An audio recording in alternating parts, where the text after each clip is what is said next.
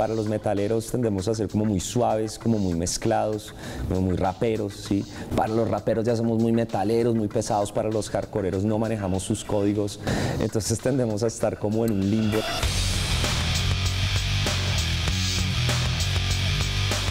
Esto inicia con un amigo mío, eh, Martín, eh, en Kennedy, hermano. Nosotros éramos unos músicos de garaje, haciendo bulla en el garaje. Y el hombre tenía una banda que se llamaba Agresor. Y un día me dice, venga, yo quiero hacer algo un poquito más suave. En esa época estábamos muy enamorados del sonido de Incus, de, esas vainas así. Intentamos hacer vainas más suaves, pero nos dimos cuenta que los nosotros eran los 90, el nu metal. Entonces con Martín arrancamos, entonces hicimos una convocatoria. eh, en esa época las redes sociales no eran tan fuertes, hasta hablando hace nueve años, pero nosotros no éramos tan buenos en eso. Entonces con el papelito pegado en la tienda de música y cayó Leonardo Acosta. Eh, llegué como bajista, pero la verdad nunca fui muy buen bajista. Entonces, bueno, como no era muy bueno, digamos, en el bajo, eh, invitamos a un amigo mío que también era bajista y ahí terminamos como de eh, como la fórmula de lo que sería la primera alineación de la banda. Y ahí pues ya se dio más como la forma, el nombre, el concepto, eh, la estructura en cuanto a lo musical y demás. Y de ahí pues hemos seguido trabajando hasta ahora, ya nueve años.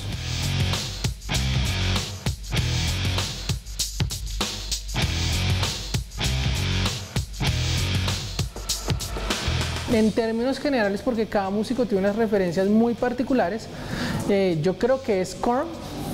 Es la banda, pues en mi concepto y para muchos como los precursores del new metal.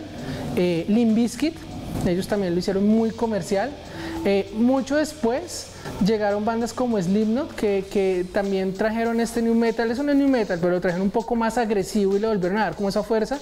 Eh, y personalmente, y bueno, también lo hablo por la banda, eh, bandas legendarias como Pantera. Yo creo que si bien uno no las escucha tan, tan de frente en nuestra música, yo creo que son bandas que nos marcaron a todos.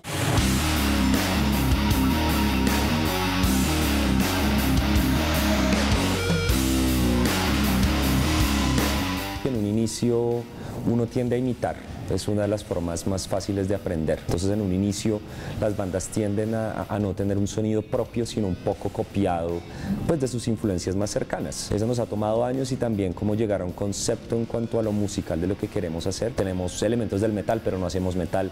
Tenemos elementos del hardcore, pero no hacemos hardcore en, en sí mismo. Eh, cosas de rap también incluso. Entonces llegar como a un punto en el que, en el que todo pueda como converger y que la banda tenga de todas formas una propuesta sólida. También el asunto visual, yo creo que lo hemos trabajado mucho más en los últimos años.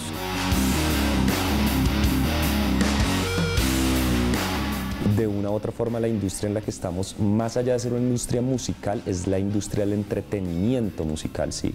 Las personas deben ir a un show, deben ver una puesta en escena que convenza, algo no solamente que sea musical, sino que también en todo, en todo lado se pueda llegar uno como a ligar a la banda, ¿sí? Eh, videos, fotos, redes, un montón de cosas que, eh, de la cual la música es muy importante también, pero no es lo único que una banda debe tener. Entonces sí tarda tiempo, pero creo que ya estamos llegando a consolidar lo que, lo que en verdad somos, como queremos sonar y como queremos proyectarnos también a los demás.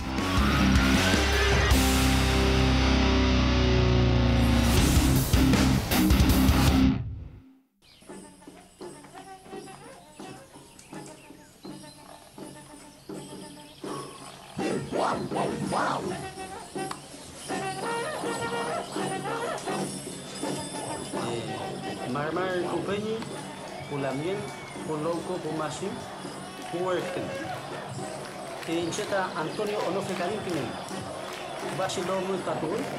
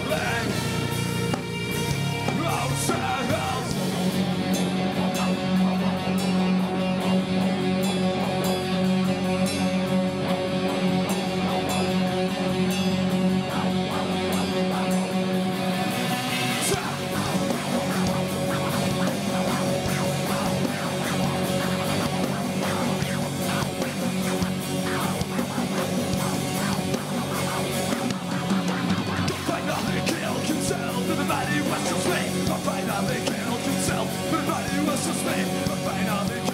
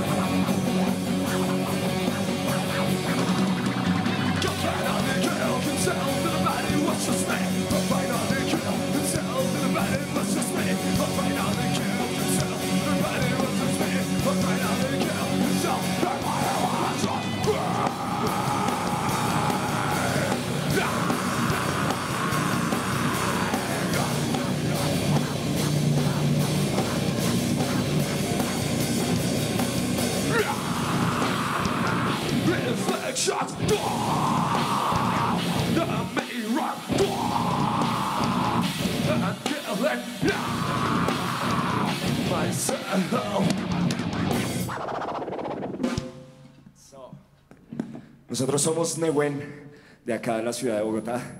Llevamos nueve años dándole a esto y queremos seguir dándole a esto, porque es lo que nos apasiona hacer. Esta canción es dedicada a las víctimas de la guerra, no solamente de la guerra de Colombia, sino de todas las guerras que siguen y siguen sucediendo y seguimos sin aprender. Esta canción se llama Daroga Gisny. Zwa, wo, da!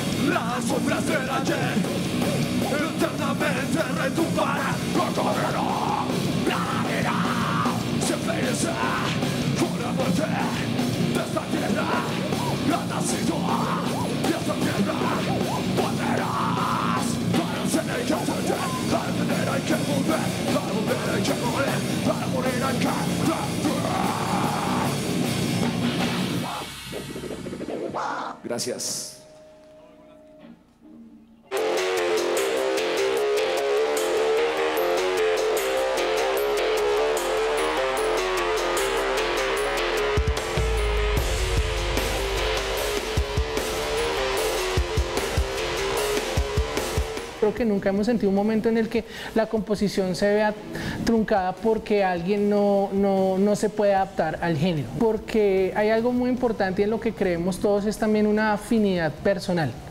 Es decir, no solamente tener el músico que viene y toca y ya no, sino que si hay una afinidad personal, hay una capacidad de comunicación, una capacidad de entendimiento. Eso hace que, por ejemplo, nuestro bajista, que el man es puro jazz y funk, él tocó en una banda de funk eh, eh, y ha tocado con, en orquestas de salsa, pues que él traiga una idea muy de eso, pero como hay buena comunicación, el feedback se da, entonces venga, eh, esto no lo haga tan alegre, métale un poquito más pesado, o yo como guitarrista me dicen, venga, no sea tan metalero, pero hay una comunicación fluida, entonces eso nos ha ayudado muchísimo.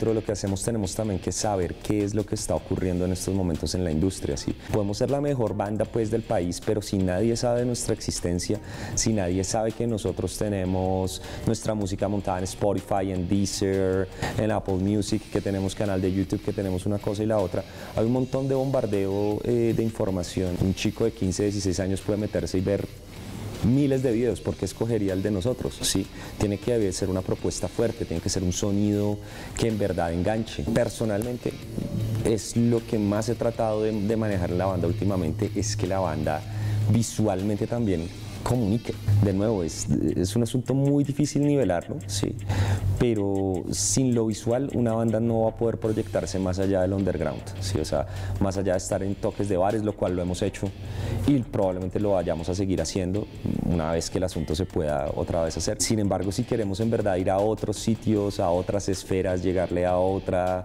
gente, a otro tipo de target, pues tenemos que manejar un asunto visual muchas veces que sea casi igual de contundente, sino igual de contundente a la parte musical. Ya han sido muchos años en los cuales hemos sacado eh, un álbum completo, un EP, y este año alcanzamos a sacar un sencillo. Esperamos antes de final de año terminar de sacar nuestro siguiente sencillo con video. Por ahora, esto es del primer álbum. Esta canción se llama Mudra.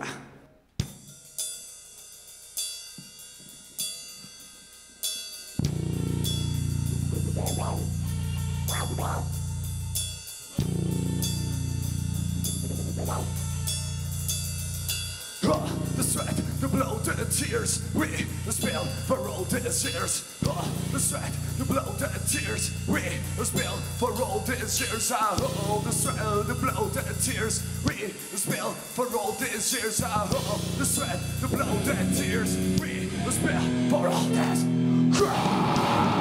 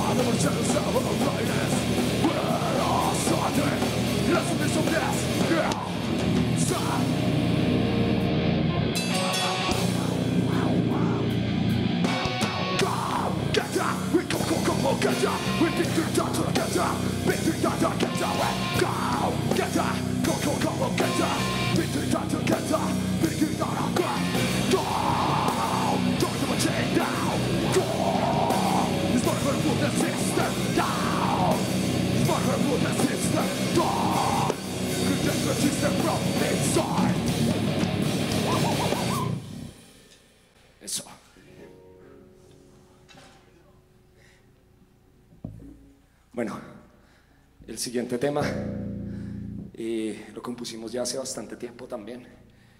Es un tributo a nuestra ciudad. Eh, hemos visto cómo es un sitio que amamos, como es un sitio que muchas veces, del que muchas veces quisiéramos escapar, pero sigue siendo nuestra ciudad.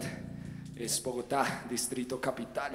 Bogotá, distrito caos. Esto es Bogo Caos.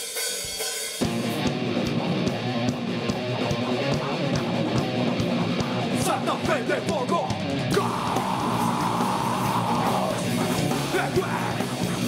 Como raíces bajo el concreto.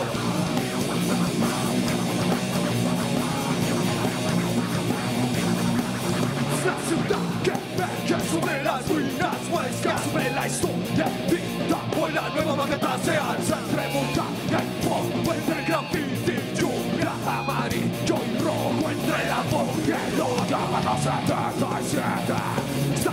Esta ciudad sobre la memoria activa de una antigüedad Del que fue el señor de lugar La fuerza de nuestra edad Está volando de los siglos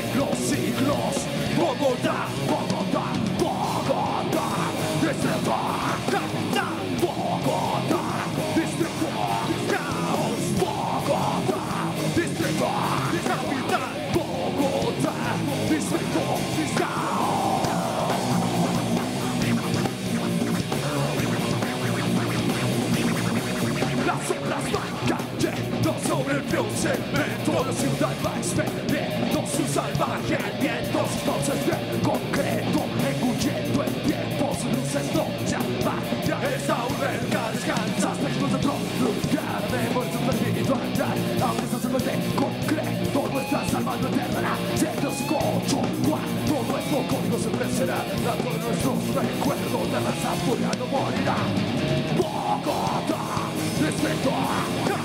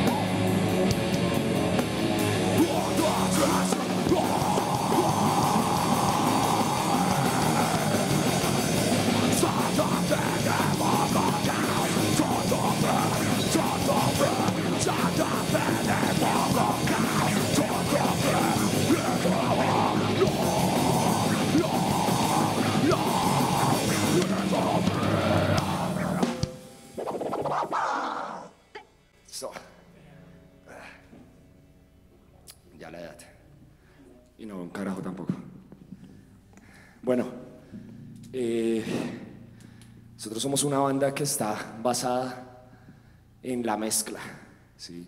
La mezcla de géneros, en la mezcla de personalidades, en la mezcla de raíces, pero todos somos uno cuando tocamos.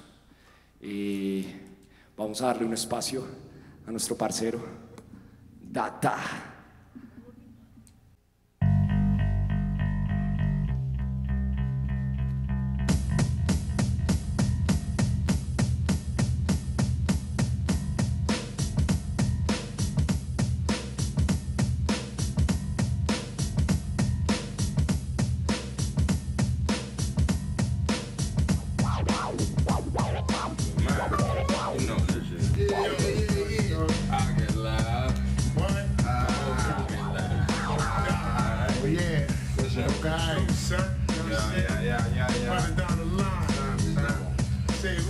Hey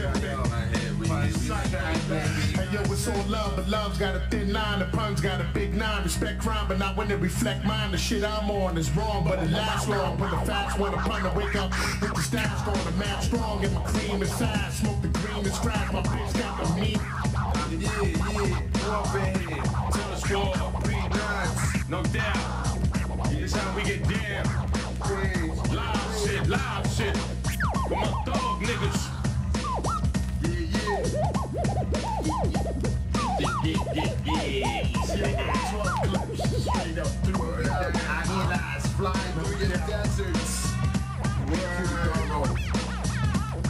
Yeah?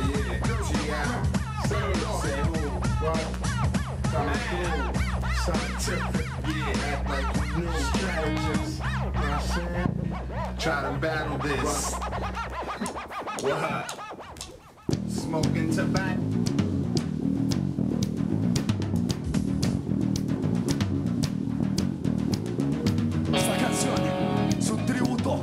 Metal Latinoamérica, a la música que se hace acá.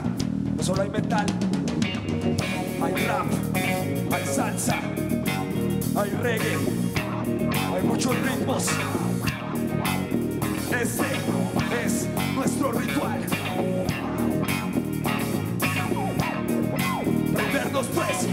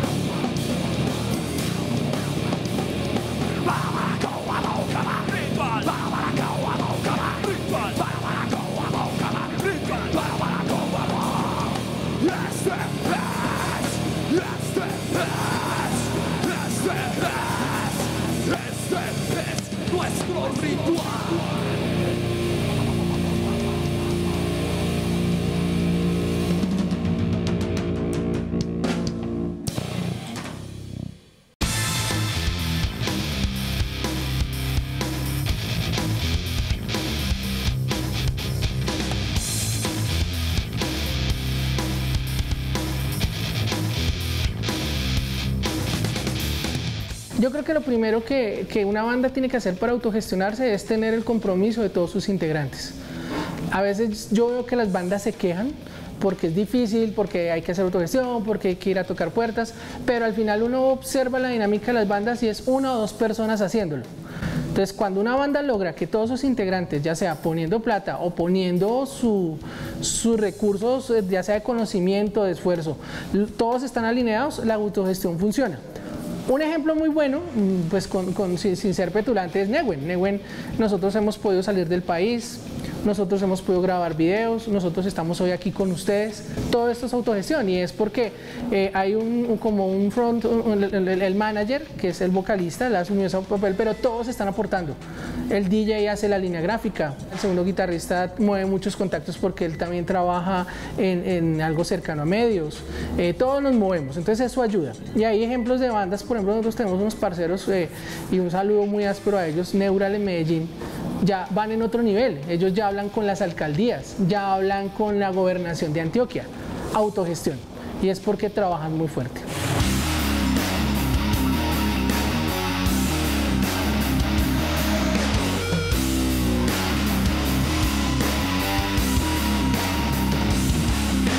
Hace, no sé, 15, 20 años era muy común ver conciertos. Yo me acuerdo que cuando yo era adolescente yo vivía en Kennedy y uno veía conciertos al lado del colegio del en un callejón y eran conciertos cada ocho días. Era una vaina muy áspera.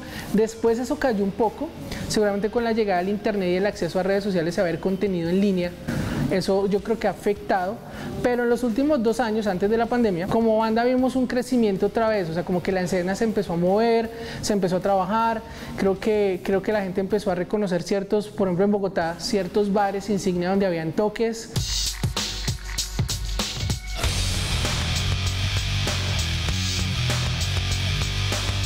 La escena en cuanto a los circuitos, yo estoy de acuerdo, todavía falta mucho, desafortunadamente, es una opinión muy personal, todavía, y, y lo digo un poco en la escena del rock y metal, todavía hay mucho ego, hay experiencias buenas.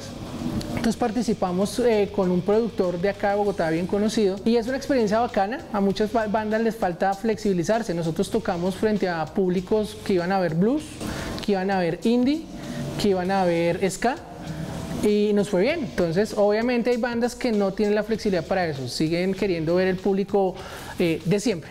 Entonces, eso es una cosa. Y otra cosa que vimos al final, que obviamente tiene unas cosas buenas, pero tiene algo también, una connotación un poco, no sé si negativa, pero difícil de manejar, es el tema de los tributos. Mucha banda de cover. Entonces resulta que, que eso, por un lado, si uno lo aprovecha, puede abrir espacios y son bandas muy buenas. Pero por otro lado, también a veces le quitas espacio a las bandas emergentes, porque el público que quiere ver, quiere ir a ver el tributo a Pantera, en vez de ir a ver una banda nueva que nadie conoce. Eso, eso hay que saberlo manejar. Yo no creo que del todo sea negativo para la escena, pero, pero hay que tener un equilibrio.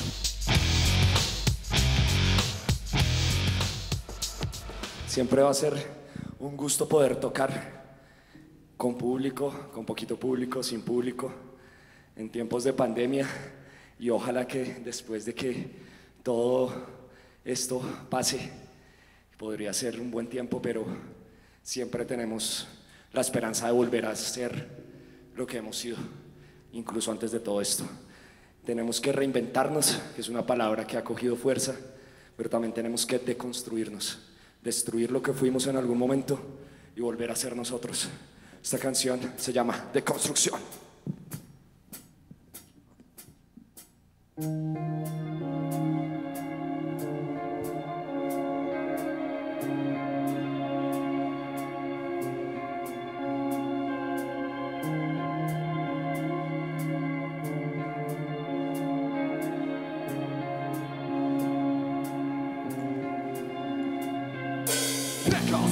Deconstruction is an exotic stage. It's the beginning of our hands, driving ourselves an unavoidable land.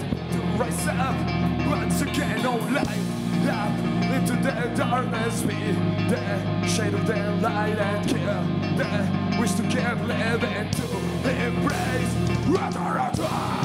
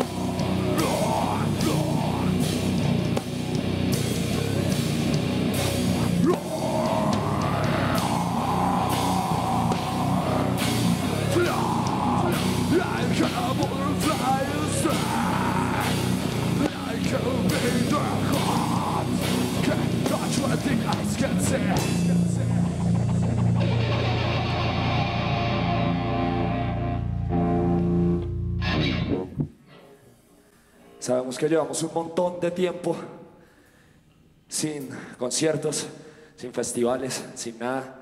Y es muy difícil muchas veces continuar.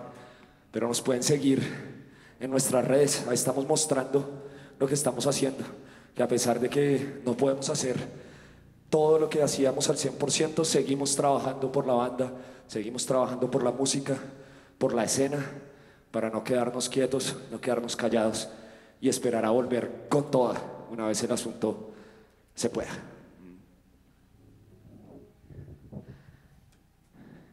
Este tema es un tributo para las personas que ya no están con nosotros. Hemos perdido muchas personas este año debido al virus, debido a la violencia, debido a un montón de cosas. Y personalmente, eh, mi abuelo murió este año, el papá de Erwin murió este año. Sabemos que muchos de ustedes han perdido personas debido a todo esto. Pero acá este tema lo dice, nunca muere aquel que nunca calla, siempre vivo, eterno en el sonido. Eso es para nosotros el tributo para los que no están. Esta canción se llama Choque.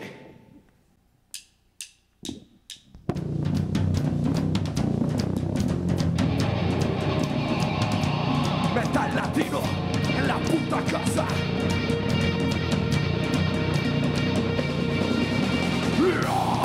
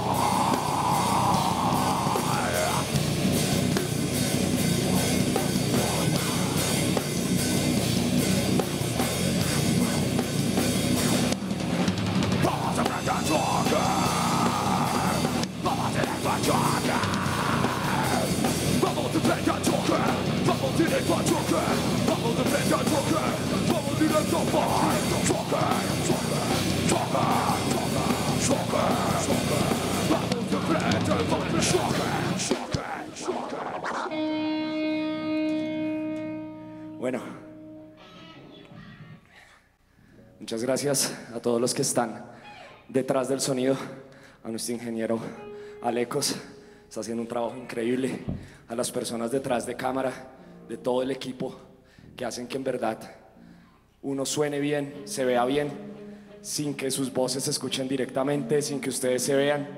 Muchísimas gracias muchachos, en verdad apreciamos su trabajo un montón. Ojalá ya podamos volver a estar pronto en escenarios más grandes, con más gente y haciendo lo que nos gusta hacer. Con este tema nos vamos. eh, estamos en todas las redes como neguen.band en Facebook, neguen-band en Instagram, neguen Bogocaos en YouTube. Y ahí pueden seguir el resto de cosas que tenemos por ahí, música en Spotify, etc. Con este tema nos vamos. Esperamos verlos de nuevo en escenarios, estar con ustedes y estar sudándola como siempre. Esta canción se llama K.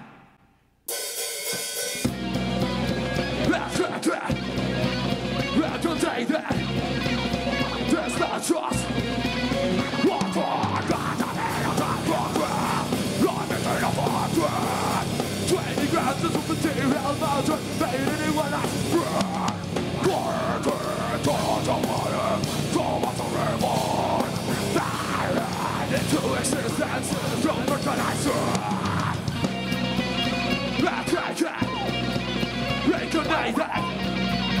This not just what you are can't cover your return of bother. Read out to say I told you do what I asked you to. Thomas Ramon, made into existence.